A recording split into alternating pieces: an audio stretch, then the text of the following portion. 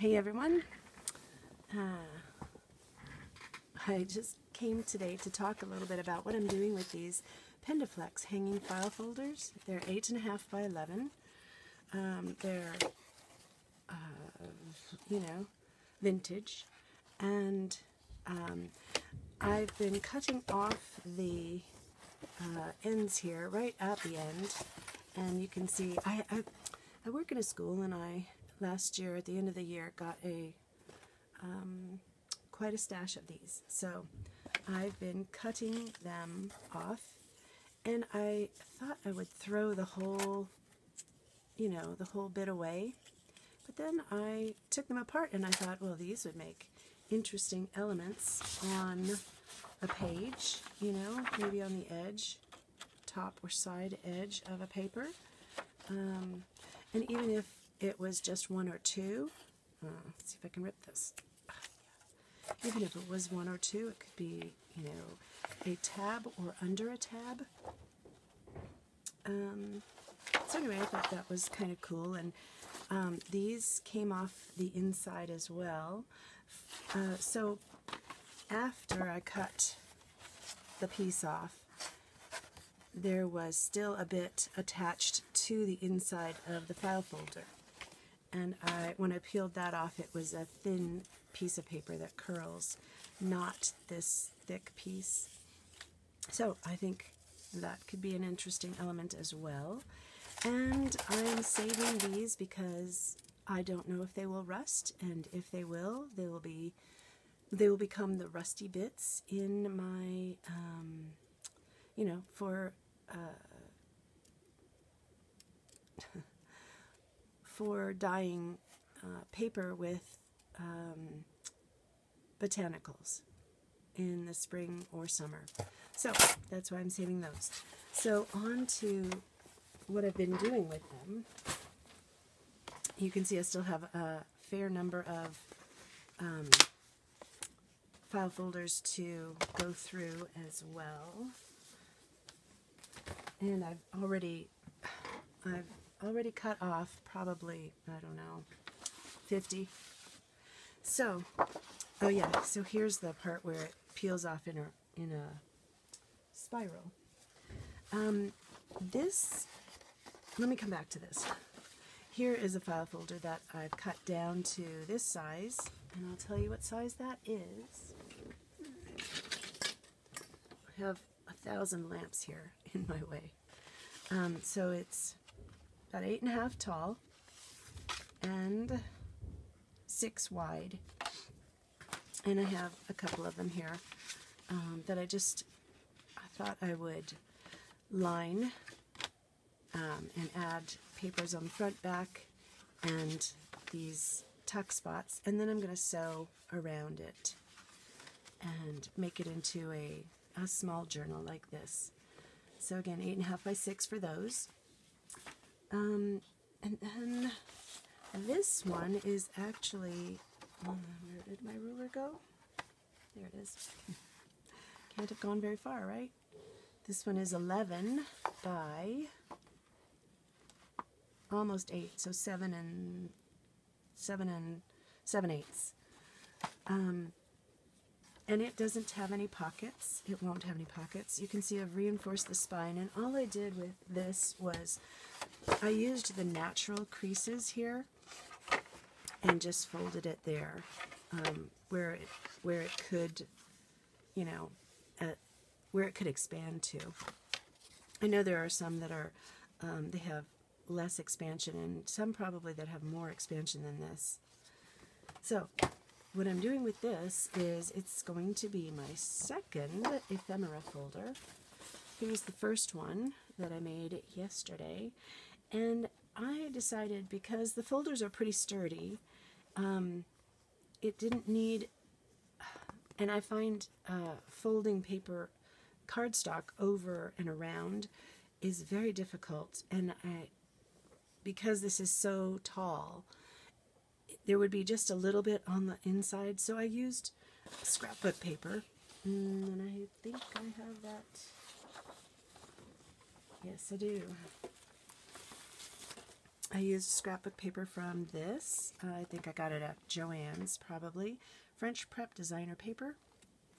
Um, so this is going to be the outside of my second journal. This is all from that paper pack. So if you look at this, there's not that much to fold over if I put this on the outside and fold it over to the inside, which I did with this. So this is Tim Holtz uh, cardstock. There are bugs on the other side, and I prefer this side. Um, so I decided to use uh, paper weight, you know, copy weight paper weight on the outside. And on this one, on my first one, the front and the back don't match, which is fine. I mean, it looks looks cohesive because it came from the same paperback pa paper pack. But I thought on the second one, I will use this on the outside and this on the inside.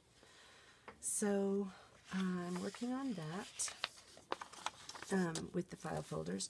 And then also I made these four little journals, which are not complete yet, but they also are made from uh, file folders, and I love it. So I just sewed uh, uh, graph paper on the inside, front and back covers, um, and then various papers on the inside. Um, so yeah, and then this is black masking tape, which I love. Um, yeah, so I think that might be everything I wanted to tell you about those file folders. But anyway, I'm having fun with file folders, and the fun shall continue. All right. Yep, I think that's it.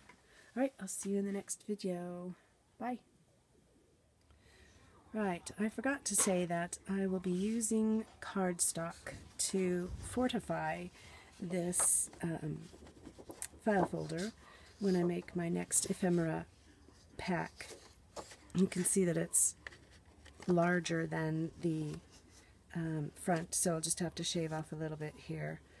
Um, and I think I'll use it on the inside and the outside of both front and back covers. Um, I, I could use more of this uh, chipboard, but I think the cardstock will be plenty. And I'm using uh, one inch double-sided tape that I bought on Amazon to adhere everything. So there's no wet glue involved. Um, yeah, and the only, actually the only glue that I used on the first one was because I made the seam on this page right up against the corner here, it um, it wanted to come up a little bit. I thought it was down a little bit farther, uh, but it wasn't. So I had to put just a line of art glitter glue there. So, all right, that is it. Now you know it all. Okay, bye. Right, I thought I would come back and show you exactly how I'm adhering the uh, cardstock to this file folder. And I'm just going to trim off uh, like an eighth of an inch because I decided it was just a tiny bit too long. now, I already have it on the front or back cover, inside and outside, and it has made it quite a bit sturdier. It's on the inside of this cover, and I have the score tape ready to go. I just thought I'd show you how I'm doing this. I, I'm sure it's out there somewhere, but this is stuff I've learned, and so just making sure that it's all down very, uh, very well. Peel off one side, and and peel the others back just a bit to make it easier to get them off. And so they're going to all come down to about here.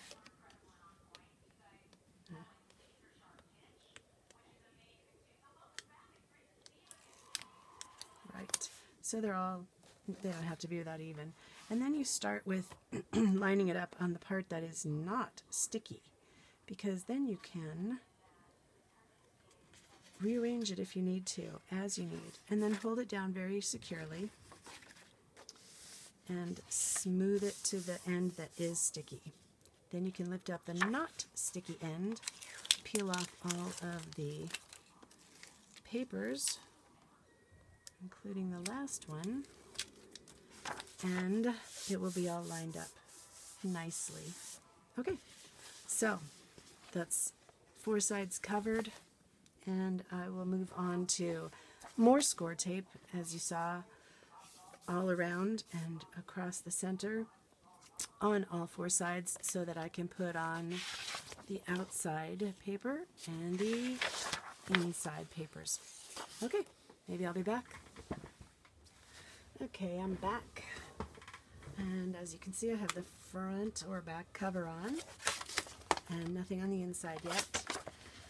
Have more uh, tape on this side ready to peel off and I'll just show you what I'm doing. And I also wanted to tell you that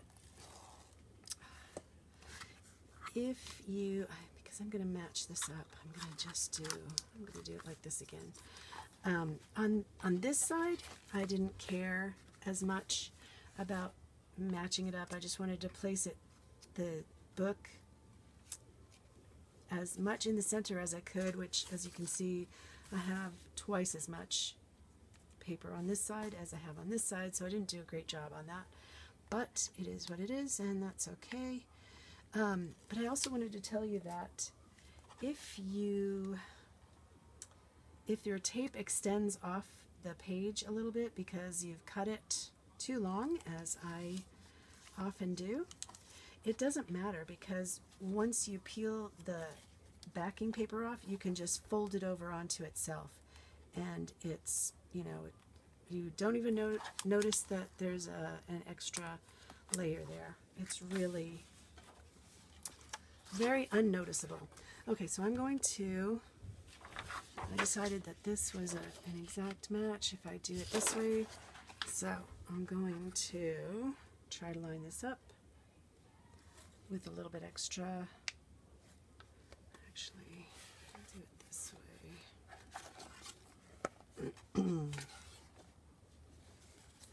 Put that down. Right, so I've just covered this up because this is loose still and I'm relying on the this part to cover over it. Um, and I'll take care of that. Actually, I think I'll take care of that right now. And I'll show you what I mean by having this, the tape too long. Put my scissors away. So, right, there's that. And I'm going to put this, huh, it's not too long. but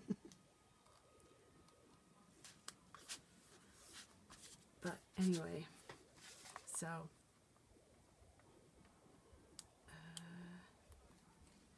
leave that there for a minute. Right, so let's line this up again and make sure I have the pattern. Yeah, the pattern lines up this way, but it doesn't line up if I have it this way. Does it? Yeah.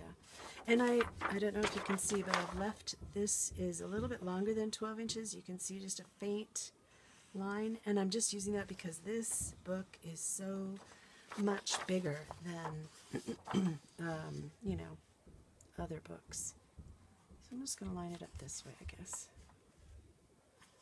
And I have enough, uh, actually right there, right there to grab the tape or have it be grabbed. And because I could move it, uh, I was able to line it up and now to take off the backing. See, I think I'll do that. And I'll come in here, do this one.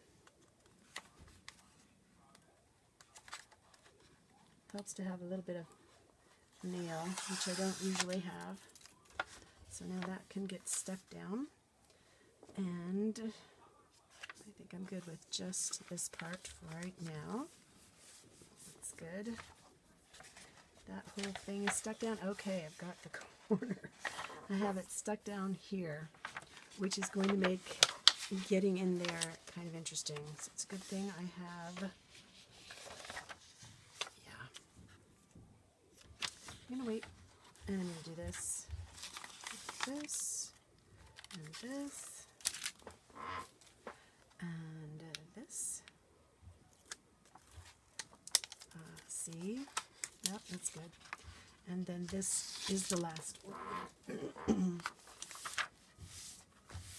and there we go. All stuck down on that side.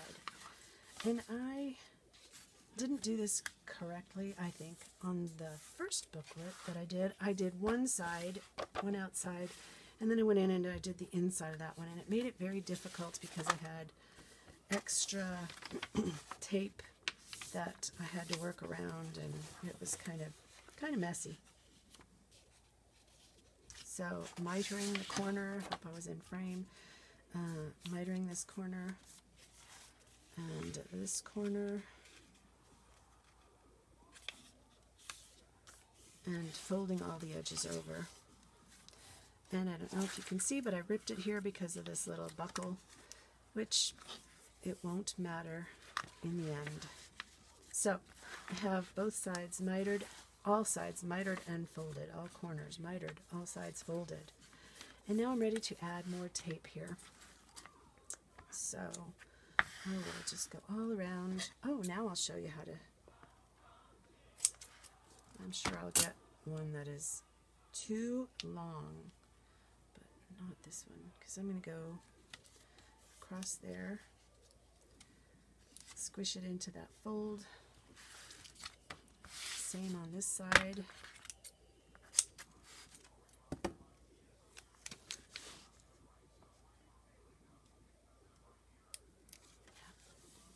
Squish it into the fold and then over the spine.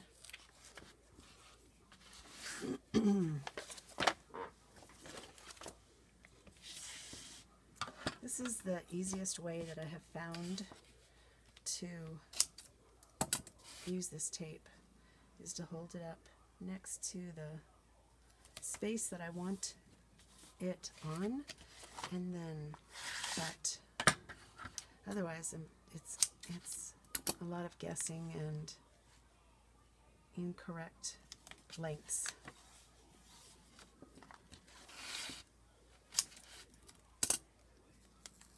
Across here.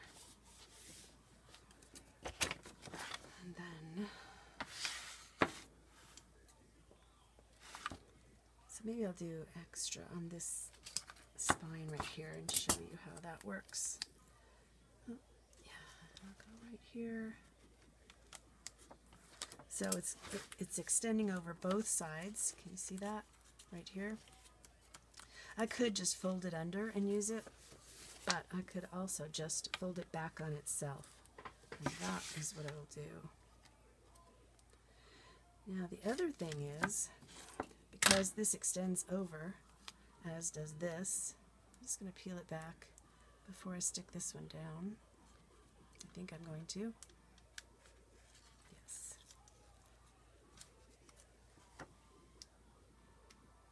And then it will be tape on tape.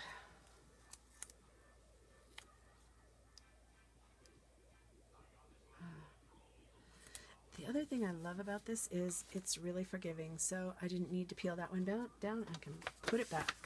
I didn't want this video to be too long, but it might be. So here's the other thing I found is that I do really well with not going the entire way across stopping short of the corner about an inch or a little bit more. So that.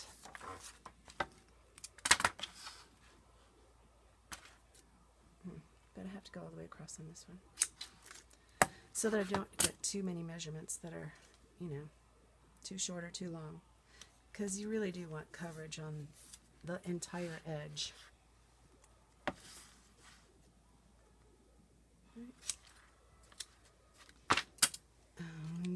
one more after this. It's kind of boring to watch people put tape down, isn't it? Okay. All right, so that's good there. So the inside is ready to go. And uh, this is my inside paper. I have to figure out if I want, I think I'll have it like this. I don't think it matters too much. My only concern is that this is so much shorter than this side. But, you know, it's okay. Alright, I will do this part first and show you, and then I will do the rest of it off camera. Because again, it's kind of boring. So you can start from either end, whichever end you can start from, I guess. And if it's down, good, that's helpful. All right, so I'm taking this off. And you can see that the tape is stuck over the edge, or it's hanging over the edge. I'm just going to fold it back on itself. And we'll not even be able to tell when the book is finished. There. And try not to touch it too much because that makes it less sticky. All right, I'm going to do the rest of it off camera, come back when it's all uh, tacked down, and I'll see you in a minute. Okay, I'm back very quickly just to show you that I've stuck down all four corners. And now I'm going to, hmm, I'm going to fold over the edges. And I don't think it matters if you start with the short edges or the long edges. Short edges seem to be easy. So I'm doing that first. Okay.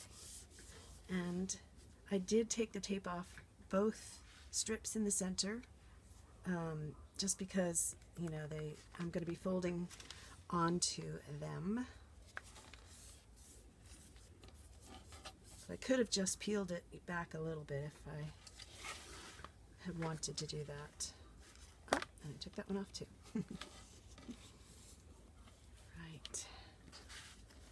Now, I, you know, I told you that I didn't use any glue on the last one, but I actually did. And I'm going to use some on this right here as well. There it is. Um, I used it to adhere the pages inside the book, and you'll see why. I guess I could have used, um, okay, that's all clogged up. I probably could have used this one inch tape, but I ended up using this uh, art glitter glue. So, hmm. there we go. Oh, I got a whole bunch there, which is okay. And I just, there's no tape between these two layers of paper. So, now there is art glitter glue. And same on this side. And I don't know how yeah I just feel like it's more secure if I do that um, even though I'm going to be putting another paper over it to uh, you know a liner on the inside. Okay that should be good for that. And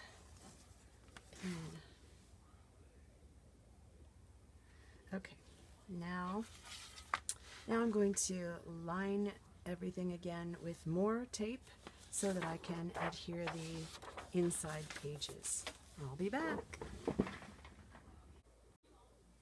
All right, I have tape everywhere on the uh, all around the edges and down the middle, and I have removed all of the tape, uh, all of the liner on the tape in this area right here. I am now going. I've trimmed these papers at the top to 11 and 7 eighths. I think I just wanted it to cover all of the tape. And so now I'm going to line it up where I want it on this edge over here before I stick it down, I hope. That looks good. Right. And I'm going to have them overlap in the center. Hmm, those are different colors. Look at that. I guess it doesn't matter. Uh, so anyway, I'm going to have them overlap in the center and it'll just add strength to the spine. I don't care if I am using up that much paper. Right, so now I'm going to take off all of these uh, outside pieces or the backing from the tape. Sorry if I just bumped the iPad. And also, as you can see, this is not taped down, but doesn't matter because now that part's taped down. And this part will be covering it. So, here we go.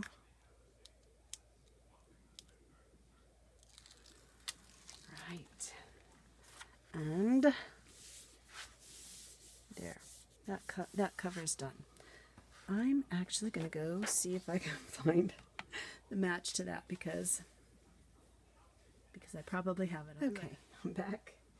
I I was able to find a match. I'm not sure why this one is so brown and these are so pink or red.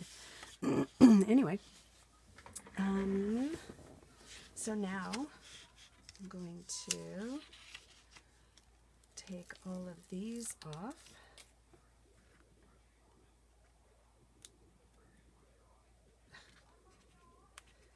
So fiddly sometimes, isn't it? Even with nails. And I don't normally have nails because of my profession. So that can go down. I won't have to think about it anymore. This can come off.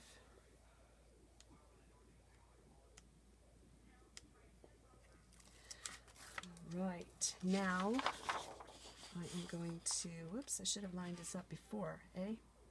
But that's okay think I can do it. Alright, I like that. Hmm, it's a little bit tall up there, but it's going to make a difference. Eh. I'm really not sure I'll care.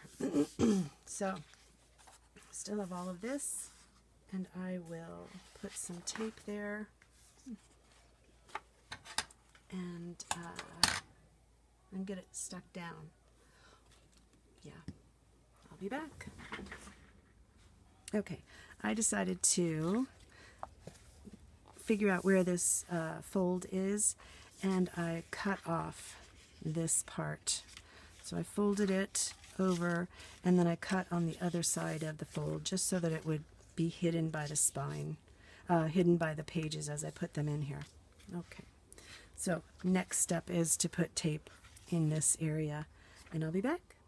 Okay, I have tape covering under this entire piece and I decided to spare you watching me struggle with it so I have them all ready to go. And here they go. And this is down. It's stuck over a little bit. There's a little extra tape here but it'll be fine. Actually I did that on the last one too and I was able to just rub it enough to where it it lifted up. Yeah, see, it's just like I don't know what it is. It's um, it's fantastic for this reason, and the fact that it's so um, thin, a lot of stick, not too much, uh, you know, bulk. All right, so that's good. All right.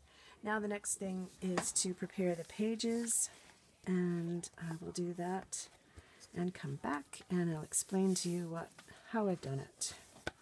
Right? So cover is looking good. Oh, I did trim up top here too because it stuck over just a little bit and it kind of bugged me. So anyway, and I, I'm liking the sturdiness of this. I mean, it's it's not definitely not hard uh, hardcover, but it's definitely going to be sturdy enough with the two layers of cardstock on either side of the file folder. So, all right, I'll be back in a minute. Right, for my book, I have cut eight and a half by 11 pages down to seven and three quarters by ten and three quarters to leave a good margin, uh, you know, around the edges of the of the paper. And now, um, in my other book I have eight pages, but I'm actually going to add a ninth page And uh, the way I've done it is, let me just show you.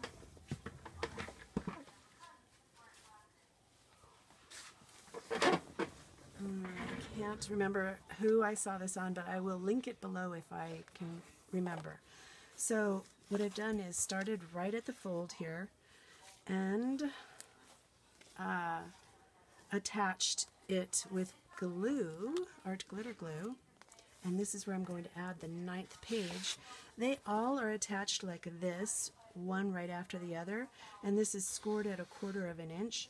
But I'm going to flip this one around and attach it right over the top of that one, so I will have a ninth one in here. Um, right, so just very quickly, uh, using my scoreboard here, and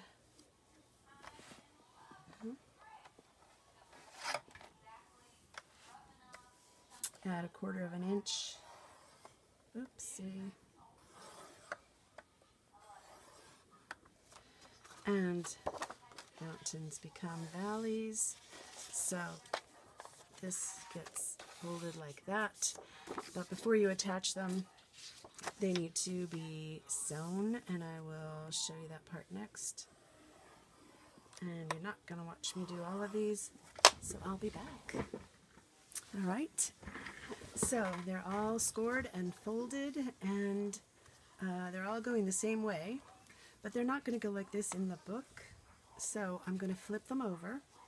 The next thing to do before you put them into the book is to fit, cut and fit plastic sheet protectors over. And I love that uh, if I cut it down to seven and a half, just under, a hair under a seven and a half, it will fit the long way. And then I have been cutting the bottom off and cutting it three and a half, three and a half, and three. And it fits very nicely. I was using my guillotine cutter for the plastic, but it's, I don't know, it sticks in one particular place. Um, so I have a couple of, mm, see if I can find one to show you, a couple of uh, really raggedy, yeah, like right here is, I don't know if you can see that, but it's it's not very smooth, and I should have flipped it over, this one too. Um, I should have flipped it over so it's on the bottom. I did do that on a couple of other places, but see, it's it's raggedy there too. So anyway, um, I, whoops, whoops, whoops, I would like to avoid that, and I'm going to try to use, let me just put these back in here, I'm going to try to use my slide cutter by Fiskars. So let's see how that works.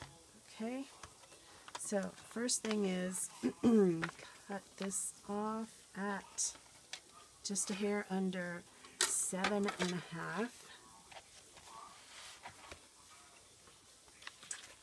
Yeah, this is an old thing from some other project. So seven and a half, hair under. Helps if everything is straight, but I don't usually use this. Let's see. Oh, that cuts beautifully. Let's use this. All right, so now I'm just going to cut off the bottom.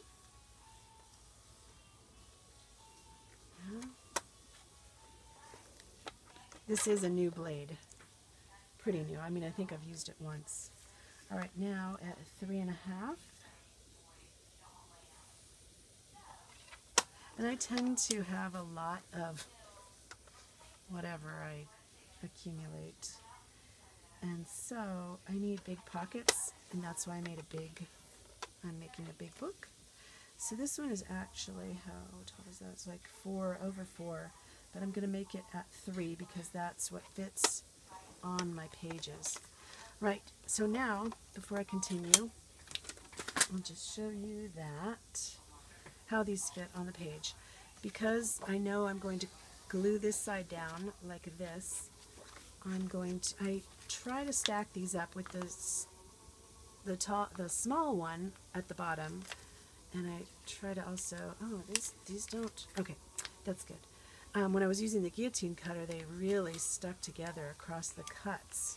So I'm going to take it to my sewing machine, which is behind me, and I'm going to sew down here and across. And then I will add another one. I'll add the middle one and sew and place it like that. So down and across. And then I'll add the top one and also down and across. So I'm, I know, I'm sorry, there's a glare. Um, the thing about the uh, page protectors is there's a bit of static cling, which kind of helps with keeping it on the paper. I make sure that it's really tight along this edge. And I did have a couple of problems like when I got over here, but it's not that big a deal. And actually I'm not going to sew over here, sorry. I, I have been doing on this, this side. I'm going to sew down here and across on all of them. So the other thing that really helps is to have all the pages going the same way so that you, I, for me anyway, so that I get into a routine and don't have to rethink it every time because that's the kiss of death for me to have to rethink it. So once I get it set up the first time, I'll just do the same thing every time.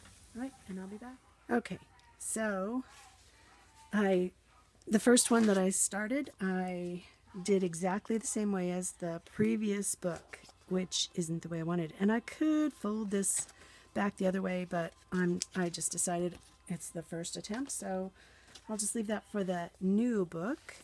And I did another one, and it is correct because it's going to go right over the top of this, and it should end up in the fold there perfectly. So, here we go. Um, I don't know if you can see the stitching. I did have a slight buckle on the top, um, but otherwise, you know, I, I just don't, I don't even care about the slight buckle. Um, didn't care on the other book, don't care on this one. Because it's going to have things stuffed into it, and that buckle might even help. And I know I'm using a lot of glue on this, but it's really okay. I want it to stay there forever and ever or longer.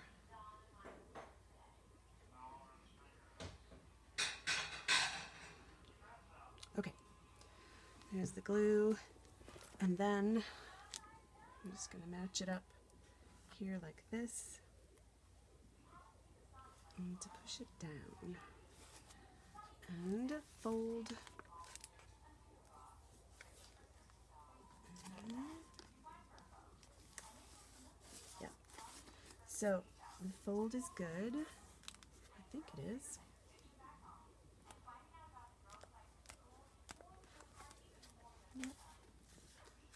And then I'm just, it, this stuff grabs so quickly. I maybe could have shaved off a tiny bit at the edge there, but I still think it'll be okay. Yep, that's fine. So now this book has nine uh, pages in it, and the second book will also have nine pages in it.